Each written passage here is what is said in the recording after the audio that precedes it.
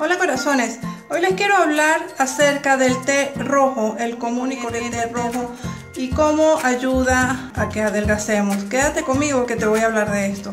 El té rojo es una de las infusiones más antiguas y milenarias que existen. En la antigua élite china eran los únicos que podían tomarlo, o sea, los del alto rango y los que estaban en el gobierno y los más pudientes. Pero hoy día, pues tenemos la fortuna, lo tenemos a la mano, cualquier herbolario, en, en cualquier automercado o mercado, pues eh, se consigue. Y uno de los usos más conocidos es eh, no solamente para deleitarte con su infusión, sino que últimamente también se está implementando como para ayudar en la pérdida de peso.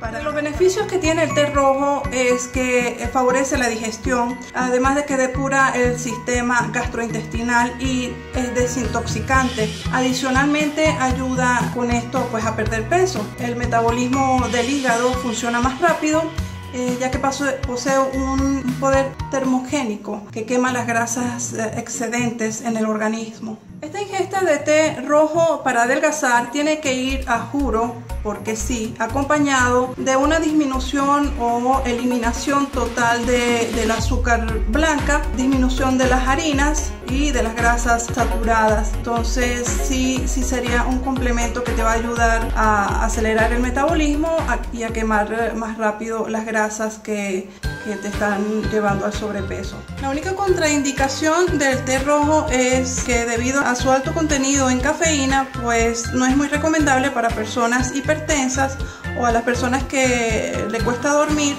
sufren de mucho nerviosismo. En todo caso, cualquier bebida con cafeína es hasta las 4 de la tarde. Después de las 4 de la tarde no es recomendable. Se pueden tomar hasta 3 tazas al día con un máximo de 4. Espero que esta información les sirva, les saquen provecho y nos vemos en la próxima.